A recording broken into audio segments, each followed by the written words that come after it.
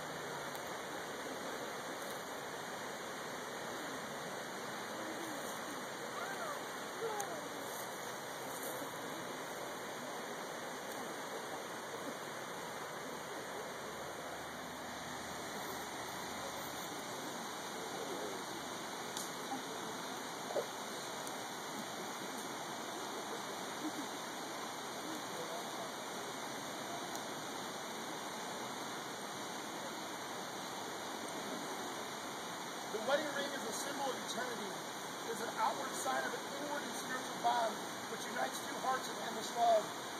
The ring is a symbol of a commitment which binds these two together. There are two rings because there are two people. Each of them make a contribution to the life of each other, this new life together.